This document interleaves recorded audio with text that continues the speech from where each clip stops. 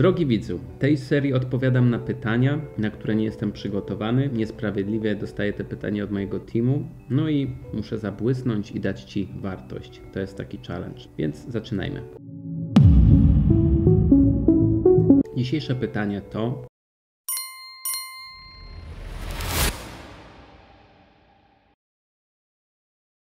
W każdej relacji, jaką masz z drugim człowiekiem, istnieją rzeczy, które, tak jakby nadrzędne procesy, takie filary relacji, które mają jakiś istotny wpływ na wasze interakcje, na wasze wymienianie się doświadczeniami, wartościami i komunikowanie się. Jest wiele takich rzeczy. Atrakcyjność fizyczna tak ma wpływ, jeżeli rozmawiamy z kimś atrakcyjnym fizycznie, inaczej z nim rozmawiamy niż z kimś nieatrakcyjnym. Tak samo dobry kontakt, raport, czyli to jak się dogadujecie wspólnie w związku, ma wpływ na waszą interakcję, na to, co się dzieje w tej przestrzeni. Tak? Jeżeli komuś bardzo ufamy, bardzo dobrze się dogadujemy, inaczej z nim rozmawiamy niż z kimś, kogo widzimy pierwszy raz w życiu.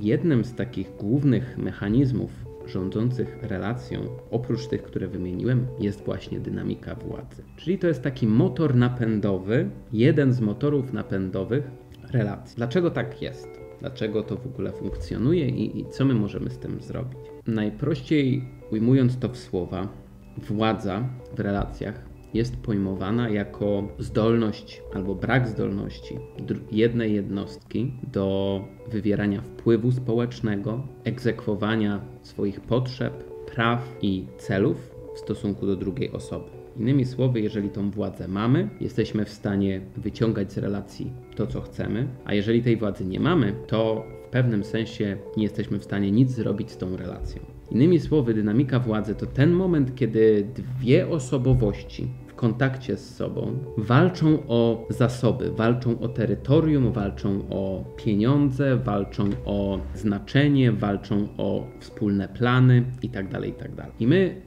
tych relacjach zwykle mamy o co walczyć, dlatego że nasze życia nie składają się tylko z tej relacji, z seksualności, z pocałunków, z fajnych filmów, ale też z prozaicznych, życiowych decyzji, które muszą być zrealizowane, wykonane w naszych życiach, i każdy tak naprawdę, oprócz tej relacji, ma coś dużo większego, czyli samego siebie. I teraz my, siłą rzeczy, zwykle będziemy stawiali na samych siebie. A to będzie powodowało, że ci ludzie, którzy bardziej stawiają na samych siebie, a mniej na, na tą drugą stronę, z którą są w relacji, będą częściej wykorzystywali władzę, którą mają.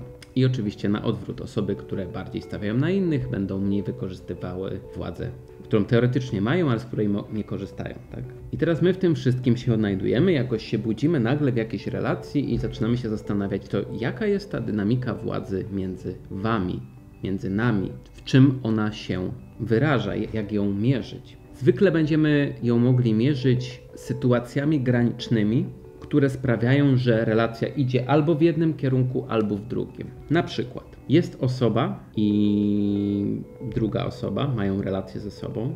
Jedna osoba próbuje przekonać drugą. I jedna z tych osób mówi nie, nie zrobię tego. Natomiast w momencie, kiedy ta druga osoba zaczyna wpływać na swojego partnera, by coś zrobić, ta druga osoba zwykle nie mówi nie.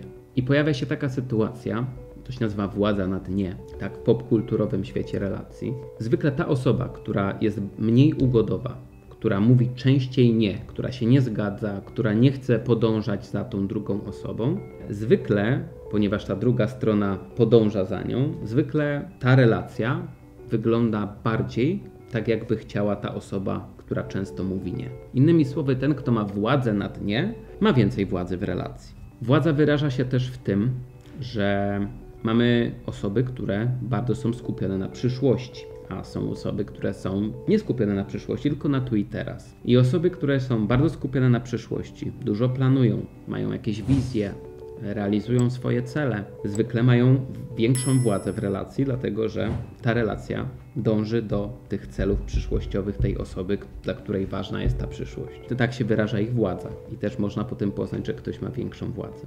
Oczywiście władza w relacji wyraża się też w tym już wyświechtanym sposobie komunikacyjnym. Jeżeli ktoś bardzo mocno i ostro się komunikuje, jeżeli używa wszelakich technik manipulacyjnych, takich jak mówienie z perspektywy autorytetu, wychodzenie z interakcji w momencie, kiedy jest jakiś konflikt, trzaskanie drzwiami za sobą, takie typowo filmowe e, zachowanie. Moglibyśmy nazwać to, że to się nazywa acting out, tak? Ktoś po prostu zachowuje się tylko w jakiś sposób po to, żeby coś na nas wymóc. W momencie, kiedy mocno używamy agresji, kiedy obrażamy drugą stronę, jeżeli używamy tych narzędzi siłą rzeczy, ponieważ wywołujemy strach w drugiej stronie, ta druga osoba obawia się konfrontacji z nami, mamy więcej władzy w relacji. Oczywiście ta władza jest traumatyczna, natomiast nie da się zobaczyć, że ta relacja właśnie tak funkcjonuje. Rozmawiamy, rozmawiamy, wszystko jest dobrze i nagle ktoś się tak denerwuje, tak nas obraża,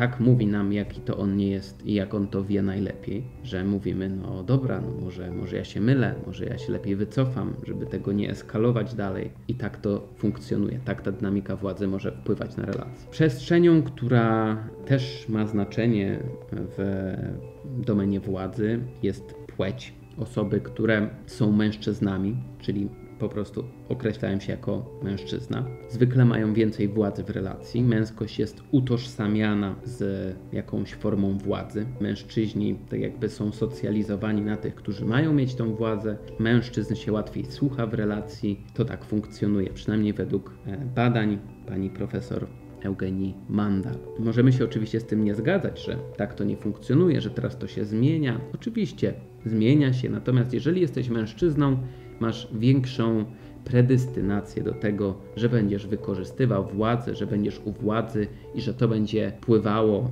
na relację, w której jesteś. Spektrum tego, jakie rzeczy podlegają e, tej dynamice władzy, jest bardzo wielkie. To jest tak naprawdę wszystko od tego, jak jedna osoba często mówi kocham, a druga nie mówi, do tego, kto e, wygrywa kłótnie, tego, kto umie użyć więcej przemocy albo po prostu perswazji odpowiedniej.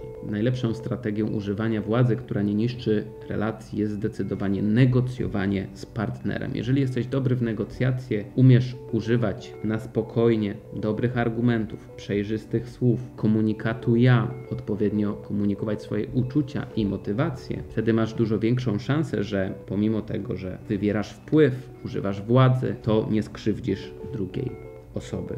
I myślę, że w jakiś sposób odpowiedziałem Ci na to, co to jest dynamika władzy. To oczywiście jest bardzo uproszczone to, co powiedziałem. O tym ludzie piszą książki e, o wpływie społecznym, o władzy i ten temat jest bardzo, bardzo szeroki. Więc jeżeli interesuje Cię ten temat na, w przyszłości, daj nam znać, że chcesz więcej takich materiałów, no i będziemy nagrywać, będziemy wchodzić w głąb. Jeżeli masz jakieś pytania, daj nam znać.